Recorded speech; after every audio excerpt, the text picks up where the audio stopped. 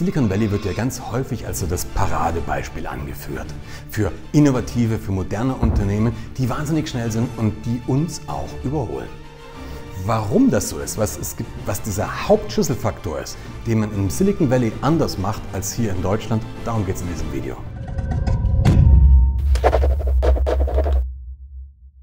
Wie kann das sein, dass plötzlich so aus dem Nichts Unternehmen auftauchen wie Amazon, wie Facebook, wie Microsoft, aber auch, das sind jetzt nur ganz große, wie auch wahnsinnig viele kleinere Unternehmen, die man vielleicht gar nicht so, die nicht so bekannt sind, die es aber geschafft haben, ihre Branche wirklich zu verändern. Die es geschafft haben, uns von hinten einfach zu überholen. Wie konnte es passieren, dass so die, unsere typisch deutschen Werte, deutsche Wertarbeit, German Engineering, was das ist immer noch ein super Schlagwort auf der ganzen Welt. Aber warum ist es so, dass wir regelmäßig abgehangen werden? Ich meine, überleg dir mal, MP3 ist eine Erfindung aus Deutschland. Das hat ein Deutscher erfunden. Ihr müsst jetzt nachschauen, wer genau das war, aber es hat ein Deutscher erfunden. Wer nutzt es? Nicht wir. Das Faxgerät, die Älteren unter euch erinnern sich vielleicht, das Fax war eine deutsche Erfindung. Ja, wer es nicht wir? Der Videorekorder war eine deutsche Erfindung. Wer nutzt es nicht wir? Und ich könnte dieses Spiel jetzt weitermachen. Es gibt, es ist ja nicht so, nochmal, ich, ich, mir geht es nicht um Deutsch oder irgend sowas, sondern hier um unseren Kulturkreis, unsere Wirtschaftskraft auch. Aber es gibt hier wahnsinnig viele Erfindungen. Es, gibt, es ist ja nicht so, dass wir nicht innovativ sein. Aber wir nutzen es nicht. Ja? Wir sind super innovativ, wir haben die Ideen, wir haben vielleicht sogar die, die, den Prototypen, aber die Kohle verdient jemand anderes und das ist doch Asche. Jetzt kann man sich die Frage stellen, was machen denn die im Silicon Valley eigentlich anders? Klar, die haben teilweise exponentiell mehr Kohle. Die haben exponentiell mehr Kohle, weil sie Venture-Kapital einsammeln und sowas. Das ist ein großer Unterschied. Könnte man sich aber Gedanken machen, okay, wie kann man hier vielleicht andere Finanzierungsformen bringen? Es gibt aber noch einen, zweiter, einen zweiten zentralen Unterschied. Das, was die im Silicon Valley nämlich tun, oder andersrum, was die nicht versuchen zu sein, ist perfekt. Eine Sache, die wir einfach ausgeprägt haben, ist Perfektionismus. Und hey, klar, wenn du Neurochirurg bist und äh, ich bin dein Patient und du wirst mich gleich operieren, dann lege ich auf Perfektionismus Wert. Wenn du Fluglotse bist und ich bin ein Pilot, der in deinem Sektor unterwegs ist, dann lege ich auf Perfektion Wert. Wenn du mein Flugzeug wartest, ja, wenn du meine, meine Instrumente kalibrierst, mein Höhenmesser, meinen künstlichen Horizont, dann lege ich auf Perfektion Wert. Komma, aber. Wir sind in diesem Perfektionismus sind wir erzogen. Ich weiß nicht, ob du den Spruch kennst, man kann eine Sache zweimal machen oder einmal gescheit. Ja? Mit dem bin ich aufgewachsen. Ähm, wir sind, äh, wir sind, ich bin aufgewachsen mit diesem immer 100% geben, immer richtig gute Sachen ab, abliefern. Ich bin auch damit erzogen worden, du ja genauso, dass wir in der Schule versucht haben, immer die perfekte Leistung zu bringen, weil nur das gab die wirklich guten Noten. Der Knackpunkt ist nur, es hat sich was verändert in der Welt. Es hat sich was Zentrales verändert. Und das, was sich verändert hat, ist die Geschwindigkeit, mit der sich Dinge verändern. Nee, die, stimmst du mir zu, wenn ich behaupte, dass die Veränderungsgeschwindigkeit in den letzten zehn Jahren dramatisch zugenommen hat? Ja, oder? Wir, wir haben in den letzten zehn Jahren eine dramatische Zunahme ähm, der Veränderungsgeschwindigkeit gesehen.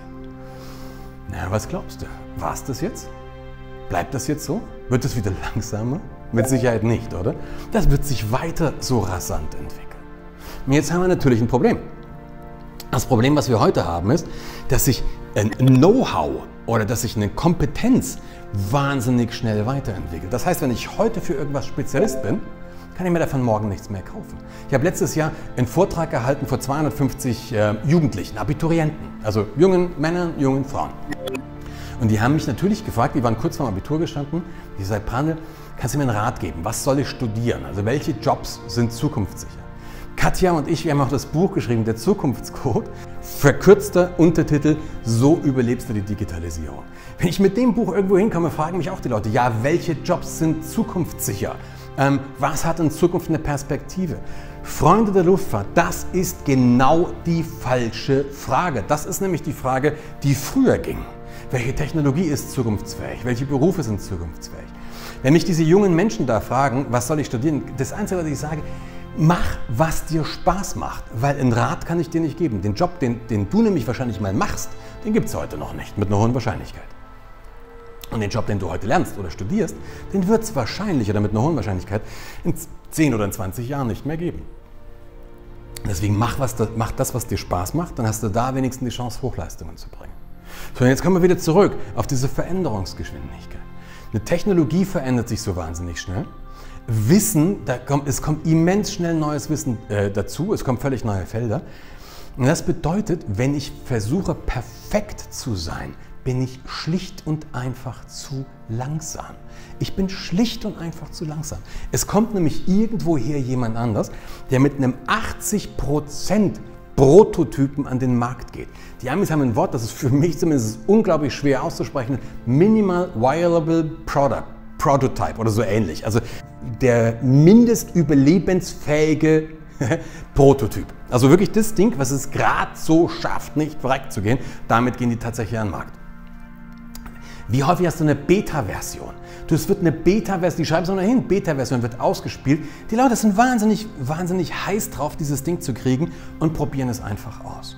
Und damit wird das Ding beim Kunden fertig entwickelt. Und du kannst dir natürlich die, du kannst dir natürlich die Frage stellen, wie kriegst du am schnellsten Informationen, indem du das Ding einsetzt. Also fassen wir es zusammen. Das, was die, das, was die in Silicon Valley anders machen. Ich habe hab gesagt, es gibt einen Punkt, es gibt zwei, aber du kannst sie unter eine Überschrift setzen.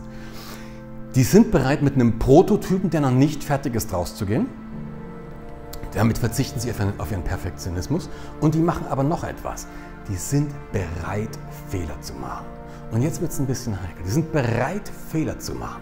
Und wenn die einen Fehler gemacht haben, dann steuern sie um. Dafür gibt es ein Wort, to pivot. To pivot heißt umsteuern. Ja? We are pivoting. Wenn ich in Amerika eine Idee vorstelle von einem potenziellen Investor, dann fragt er mich relativ häufig, relativ schnell, how many times have you pivoted? Wie oft musstest du schon umsteuern? In Deutschland, wenn ich da mit, einer, mit einem Konzept komme und muss dann irgendwie nach, dem ersten, nach der ersten Präsentation was Zentrales ändern, dann sagen die zu mir, Herr Brandl, so da über Ihr Konzept hier offensichtlich doch nicht. Und damit vergeigen wir uns die Chance. Wir müssen bereit sein, Fehler zu machen. Wir müssen bereit sein, Risiken einzugehen. Ganz, ganz natürlich die Frage, jo, aber bringt mich das im Zweifelsfall nicht um? Als Fluglehrer habe ich für mich so eine Definition gemacht. Wir müssen überlebbare Fehler machen. Wenn ich dir Fliegen beibringe zum Beispiel und ich sehe, dass du einen Fehler machst, dann kann ich natürlich versuchen, mit Mikrokorrekturen dich vor dem Fehler bewahren. Kennst du das? Komm, ich zeig's dir nochmal, lass mich es lieber schnell machen. Aber es ist der Effekt, du lernst es nicht. Dann habe ich, hab ich begriffen, ich muss dich Fehler machen lassen. Ich muss checken, wenn du diesen Fehler machst, bringt uns das um. Wenn es uns umbringt, muss ich dich davon abhalten. Ich muss checken, wenn du diesen Fehler durchziehst, macht er den Flieger kaputt. Wenn es den Flieger kaputt geht, muss ich dich davon abhalten. Das ist meine verdammte Verantwortung, diese Leitplanken. Zu checken, okay, bringst du dich um mit dem, was du tust, dann muss ich dich davon abhalten. Meine Verantwortung. Machst du den Flieger, machst du das System kaputt. Wenn das so ist, dann muss ich dich davon abhalten. Aber innerhalb dieses Rahmens muss ich dich Fehler machen lassen. Jetzt kannst du dir die Frage stellen, bist du eigentlich noch bereit, Fehler zu machen? Oder ist dein Leben inzwischen einzige Reiserücktrittsversicherung? Sind wir überhaupt noch bereit, Fehler zu machen? Aber es gibt noch was Zweites und das ist damit, das ist damit relevant und vielleicht sogar noch relevanter. Wie gehst du mit jemandem um, der einen Fehler gemacht hat? Wie gehst du auf jemanden zu, der einen Fehler gemacht hat, der eine falsche Entscheidung getroffen hat? Wenn ich jetzt zum Beispiel gerade in der jetzigen Situation ähm, werden wir das hoffentlich häufiger sagen und hoffentlich häufiger erleben, dass ein Politiker sagt, die Maßnahmen, die wir da und da getroffen haben, würde ich heute nicht nochmals so treffen. Machen wir denn einen Shitstorm über den oder sagen wir, hey, cool, du hast damals eine Entscheidung getroffen aus bestem Wissen und Gewissen und du sagst, heute mit dem, was ich heute weiß, würde ich eine andere Entscheidung treffen. Und wenn dem so ist, dann treffen wir da auch eine andere Entscheidung.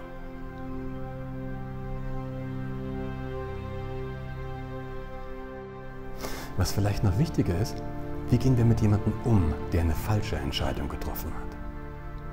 Wie gehst du mit jemandem um? Wie geht man in deinem Unternehmen mit jemandem um, der einen Fehler gemacht hat? Kriegt er auf die Mütze? Wenn wir Fehler sanktionieren, dann werden Fehler vertuscht und können wir nicht daraus lernen. Wenn jemand auf die Mütze bekommt, der einen Fehler gemacht hat, dann wird er in Zukunft alles versuchen, aber nichts mehr riskieren. Wir, wir werden es hoffentlich in der Zukunft öfter haben, dass ein Politiker vor eine Kamera tritt und sagt, ich würde diese Maßnahmen, die ich damals angeordnet habe, heute so nicht mehr machen. Ich hoffe, dass wir das bekommen. Das bedeutet nämlich, dass die Leute ihre Entscheidungen reflektieren, überlegen, ist es noch die richtige und wenn sie sagen nein, dass sie dann pivitten. Wenn, wenn jemand, der sich vor eine Kamera stellt und sagt, ich würde das heute nicht nochmal so machen, wenn der einen Shitstorm bekommt, dann würde in Zukunft einen Teufel tun, aber keine Fehler mehr korrigieren. Und das reißt uns in den Mist. Also, du kannst dir zwei Fragen stellen. Die erste Frage ist, wie gehst du damit um, wenn du einen Fehler machst und wenn jemand anders einen Fehler macht? Wie gehst du damit um? Und die zweite Frage lautet, welchen überlebbaren Fehler könntest du heute noch machen?